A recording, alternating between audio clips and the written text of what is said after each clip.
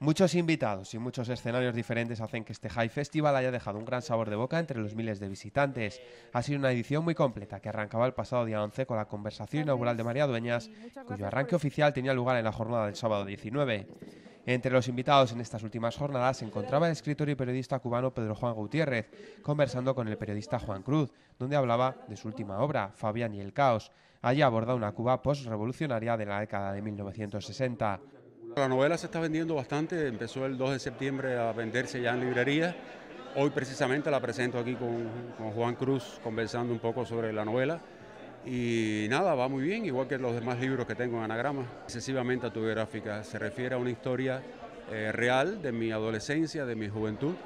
Me tomó mucho tiempo decidirme, pero bueno, al fin me decidí, la escribí y ya, ahí está la novela al fin una situación de revolución contraria a la época actual de tranquilidad en la que el país cubano está viviendo en la actualidad con la visita del Papa o las relaciones institucionales con los Estados Unidos. Con mucha alegría, ya era hora, ¿no? Y todo se está haciendo eh, muy civilizadamente, muy, muy bien, se está haciendo además paulatinamente, con lentitud, como debe de hacerse las cosas, así que yo lo veo muy bien, estoy muy contento. De política también hablaba el viceprimer ministro Nick Clegg, analizando la realidad actual de la política junto al periodista Pedro J. Ramírez. Evidentemente comparaba la situación de Cataluña con Escocia. De esta última señalaba que el populismo es la nota dominante, algo que está pasando también en otros países con la denominada nueva política. Y si ahora uno es un político populista con mucho talento, se puede llegar muy lejos diciendo que esto es culpa de otro. Es la política de decir es que es culpa del otro. Es precisamente lo contrario a lo que yo creo. Porque yo creo que la política es abogar por lo que uno cree y por lo que uno quiere defender. Y esta política de echarle la culpa a los demás es la que está ahora prosperando en Escocia. Es un movimiento con una potencia enorme y con eso explican todo. Desde lo que ocurre en un hospital de la zona a lo que puede ocurrir en una base de submarinos nucleares. Todo, todo es culpa de Londres y eso lo hacen sobre todo los conservadores. Su esposa, Miriam González Durante, también participaba en este festival y seguía de cerca los comentarios de su marido, que señalaba que han cambiado las reglas del juego, ya que él, a sus 48 años, siempre había visto dos opciones claramente diferenciadas, izquierda y derecha. Un día es que la política de la identidad no se encuentra. No encuentra lugar entre esa dualidad izquierda-derecha de dónde eres, de qué país viene uno, de qué región procede uno, en qué historia cree uno. La identidad de su pueblo, de su región, de su país, todo está siendo algo que está sustituyendo también a ese eje tradicional izquierda-derecha. Profundizaba también la dificultad de hacer políticas de ajuste en años complicados, que es lo que a él le pasaba factura en los comicios en mayo, donde perdía hasta 49 circunscripciones. El reconocido escritor y diseñador Alberto Corazón también aterrizaba en este festival para hablar de su trayectoria. Como diseñador comencé siendo diseñador editorial, diseñador de libros. Y ese fue mis inicios en el, campo del diseño. Al mismo tiempo, simultáneamente, era editor. Tenía una pequeña editorial que durante años fue importante. Monté la colección Visor de Poesía, que es una colección que ha seguido creciendo con el tiempo y que sobrevive. Es decir, que mi relación con los libros es tanto desde el punto de vista de su producción, digamos, de su diseño, como también de los contenidos, porque he escrito media docena de libros ya también. Conversaba con Almudena Bermejo acerca de la exposición antológica Alberto Corazón, Diseño, la energía del pensamiento gráfico 1965-2015 y de su próximo proyecto en la Galería Malborough en Nueva York. Estoy preparando una exposición de pinturas y esculturas eh, que será en Nueva York a finales de año, en la Galería Malborough y como diseñador estoy eh, implicado en una serie de proyectos alrededor de, Madrid y de la, eh, eh, de la regeneración un poco de la, de la ciudad y la vuelta.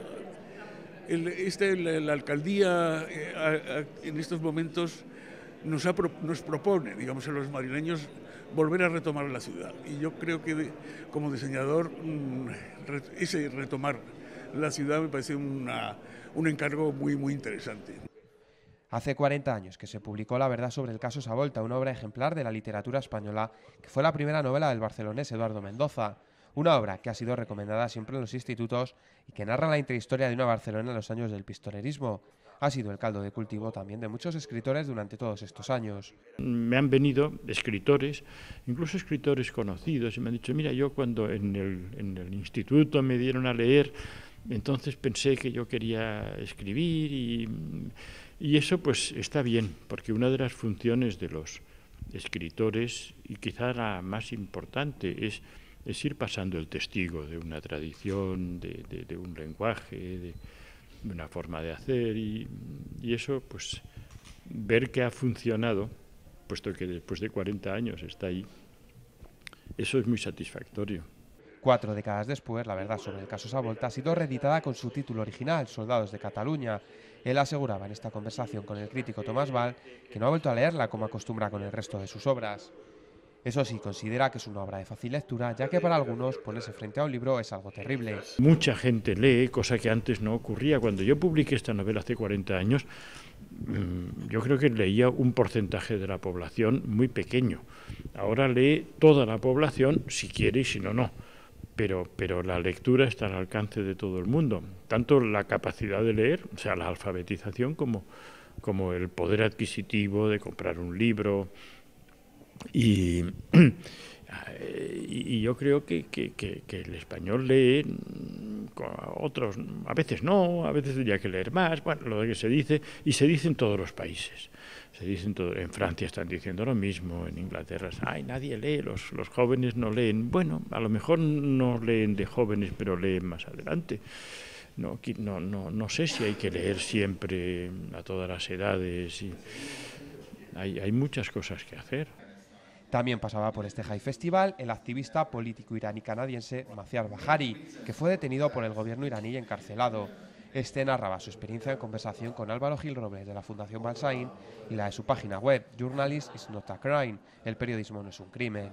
Un largometraje 118 días recoge bien su historia, la de un corresponsal de Newsweek para Estados Unidos y de la BBC para el Reino Unido, que permanecía 118 días como prisionero y bajo torturas en el gobierno de Mahmoud Ahmadinejad una décima edición que desde la organización se valora como la mejor hasta la fecha. Creo que es el mejor de los que hemos hecho hasta ahora. Estamos muy felices. Era un reto este décimo aniversario, este décimo cumpleaños. Claro, porque eh, nosotros queríamos homenajear a la ciudad de Segovia y entonces empezamos a hacer 100 eventos, que es un 40% más grande que el del año pasado. Pero claro, eso, es, eso te lleva a un segundo reto, que es que necesitas un 40% más de gente que el año pasado. Mira, el sábado en la mañana, contando la gente que estaba en los diferentes eventos, superábamos casi las 4.000 personas que estaban, ¿no? Entonces, eso ya te da una dimensión de la locura. Sí, bueno, imagino que te quedas con todos los eventos, pero ¿algún invitado más especial que otros o que te haya costado más que hayan estado en Segovia? Eh, yo creo, pues, bueno, no lo sé, es complejo la respuesta, pero yo creo que ha sido para mí uno de los eventos, hay, un par de eventos muy espectaculares por distintos motivos. La conversación que hicimos con trayectorias de acción cultural aquí, con Antonio Muñoz Molina y el otro, el inglés que se llama Anthony también, y Peter Frohn, el director, yo creo que ha sido una de las conversaciones más con mayor profundidad y sabiduría de las que hemos grabado en muchos Hayes. Fíjate que todos los que escuchaban decían, pero qué maravilloso es tener dos, eh, porque Antonio Muñoz Molina, que es un escritor, ha ido transformándose en un filósofo de la contemporaneidad, y A.C. Grayling, que es un filósofo puro, con el tiempo se ha ido transformando también en un comentarista de la contemporaneidad. Y entonces fue como un lujo escucharlo. El broche perfecto de este festival lo ponía el cantautor Marvan, que conversaba primero junto a Benjamín Prado y después recitaba poemas. Este texto en prosa, la palabra María, era uno de los más aclamados. Yo sé que la palabra María bien podría parecer un conjunto de cinco letras que se dan la mano, un nombre propio muy común. Nada de eso.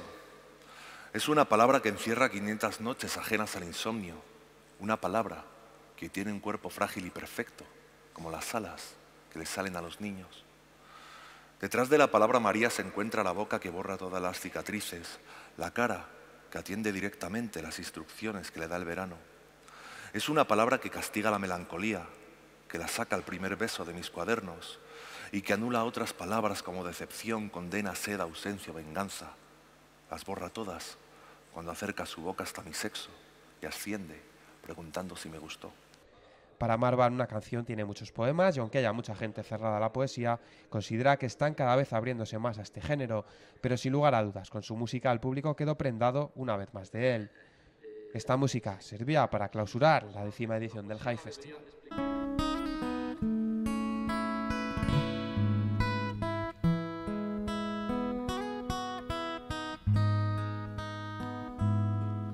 Para hablar tengo la voz bien, para cantar es que antes de ayer tuve concierto en, en Mallorca, ayer tuve concierto en Barcelona y hoy pues tengo la voz que Sabina a mi lado